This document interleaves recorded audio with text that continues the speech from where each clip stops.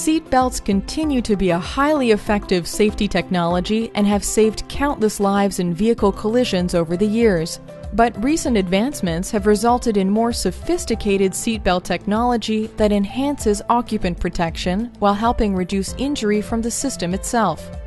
Pretensioners automatically retract the seatbelt and secure the occupant instantly during severe deceleration, such as that caused by a frontal collision. The aim is to control occupant movement within the cabin space while ensuring that the belts are comfortable in everyday use.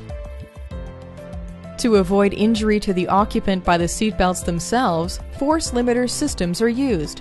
Force limiters come into play when seatbelt pressures applied to the occupant reach a predetermined level. At that point, the limiter allows the belt to extend to help reduce the impact on the occupant's chest. In a serious collision where the SRS airbag may deploy, the pretensioner activates with the airbag after a signal is received from the SRS sensor assembly. After deployment, the force limiter also comes into play as an added method of protection, reducing the load applied by the seatbelt to the occupant's chest. Combined, these systems help the front airbag deploy more effectively during a frontal collision.